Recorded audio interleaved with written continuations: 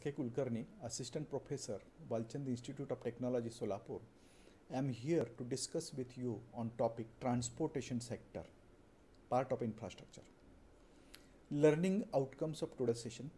At the end of the session, students will be able to explain status of development of transportation sector in India. Introduction.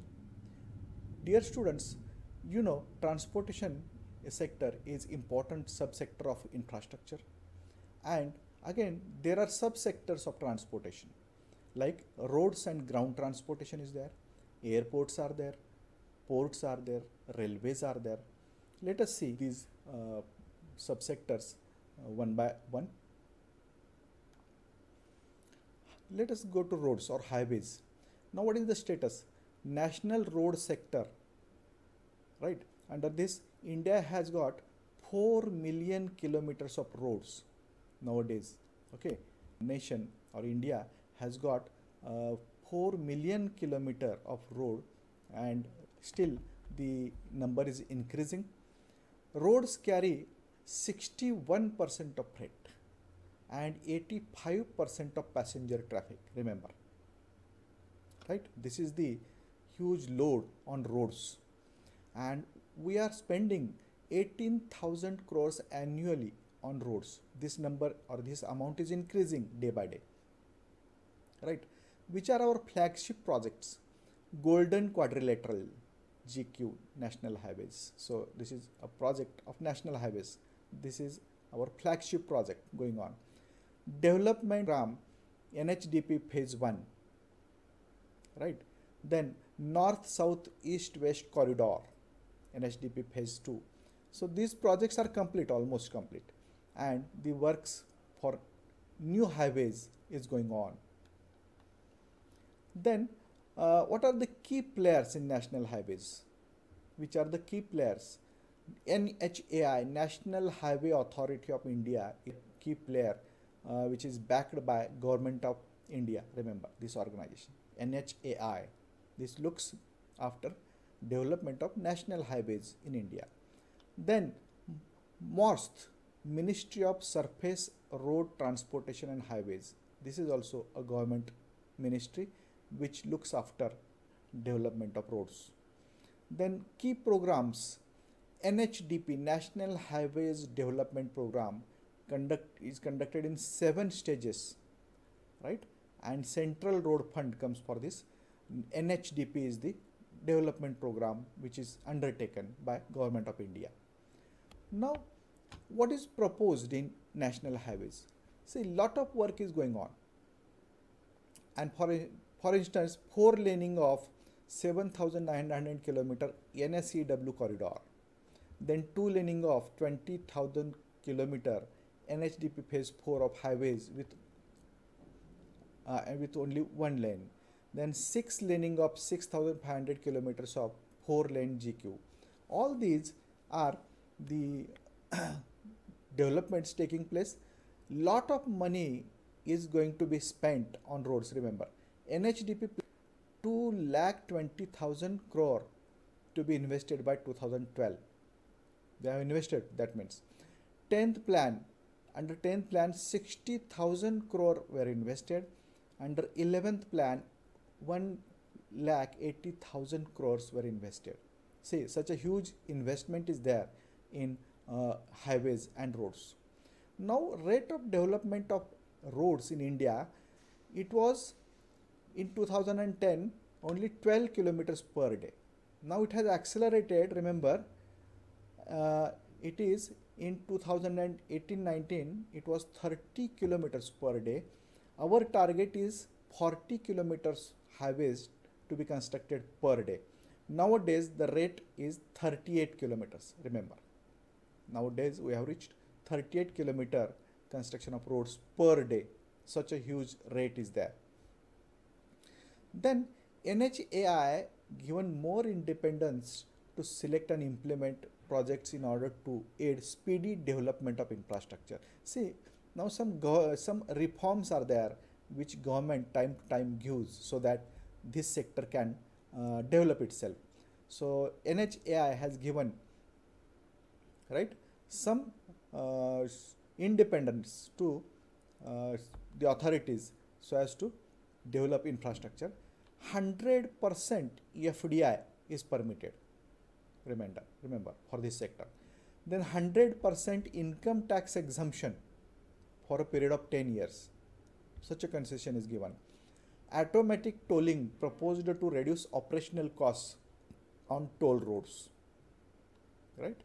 Then planning for expressways is undertaken. Right? So many reforms time to time are taken by government so that this particular sector flourishes.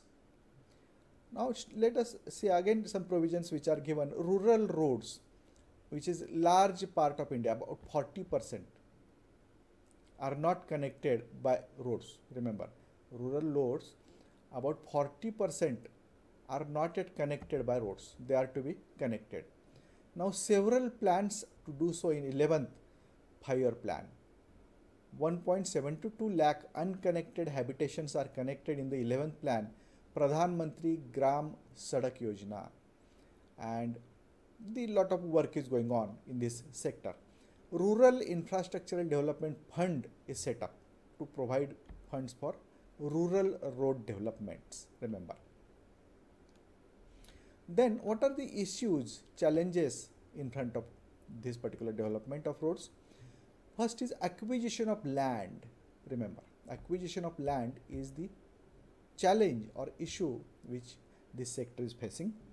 Then uh, this involves the political will to acquire land. Okay. Then time consuming process is there.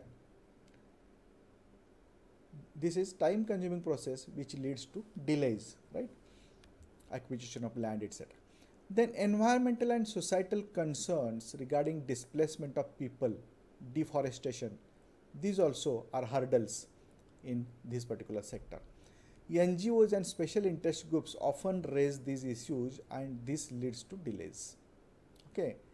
Then exact tariff that should be charged according to varying categories of consumers is a difficult decision that must be made. This is also one more hurdle and in addition, there are always risks that by adding a toll charge, the ridership on the road might decrease, leading to an infeasible project, right?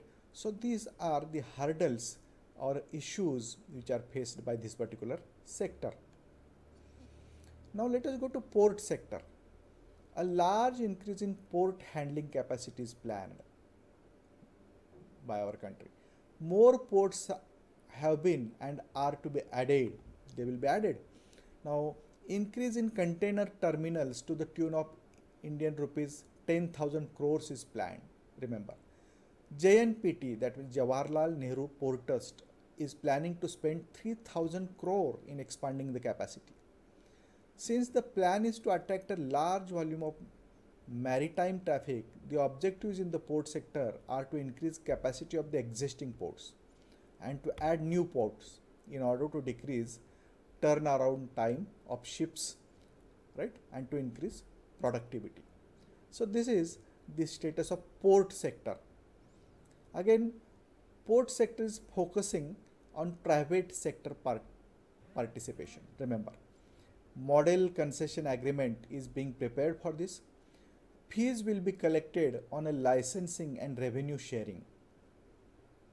Okay, model TAMP that is Tariff Authority for Major Ports is the regulator in this sector and does a good job for specifying the tariffs. Plans are afoot to improve road and rail connectivity to the ports, thereby reducing transportation costs on goods and making the ports sector more attractive. Remember. Plans are being made to corpor- corporatize ports to increase operational efficiency. Right? This will lead to independence from a central authority like Port Trust of India. Okay. So these are some of the measures being taken by government of India. Now let us go to railways sector. Which are the some some of the key interventions of railway session? Increasing the utilization of existing capacity bogies by cutting cost fares etc tying up with private players to run trains offering volume based discount to boost sales. Developing owned land and generating profits, computerizing operations, lower passenger prices, right? These are the key interventions in this particular sector. Here we can see some of the highlights. See, Konkan Railway project is the major railway project after independence, okay? Independence of our country. Now, rail reforms on the anvil. A new investment about 60,000 crore in current plan for a dedicated Mumbai-Delhi freight corridor. Then other dedicated corridors may come up soon. Private participation is being sought in track laying, freight maintenance, etc. Plans are being formulated to bring in world-class train and stations and that are to be built uh, in our country, right? Mm, which will be at par with the standards of the foreign countries. Now let us see or compare our uh, infrastructure with that of China. See, everywhere China is ahead of us, but we are developing nation. We are trying to make up with the gap and these are the comparative values. Now let us stop a while here, dear friends. Here are two review questions. Answer them neatly.